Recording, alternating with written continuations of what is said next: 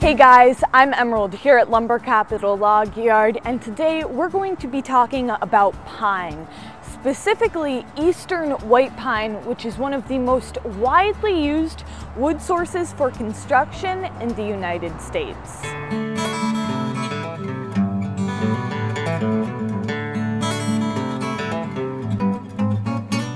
So what about this wood makes it so popular for building? There are a couple of reasons why. First, pine trees only take about 25 years to fully mature.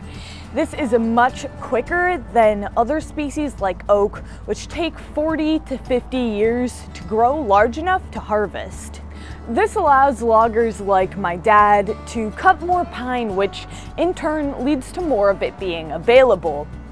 Because of this excess of pine in the market, the average rate is a little lower than others. Thanks to its cheaper price tag and wide availability, pine is very popular for construction and much more. So on that note, let's roll on this white pine here and mill us up some 2x4s and maybe some 4x4s.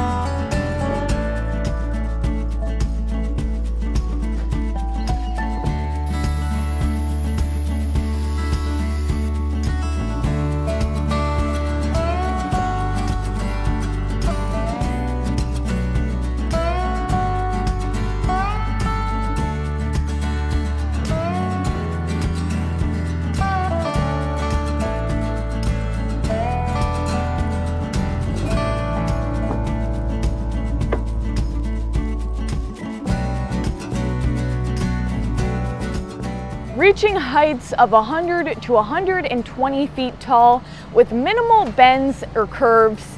It's no wonder why this wood is a popular choice. That wraps it up for today's video. I hope that you enjoyed and we'll see you next time.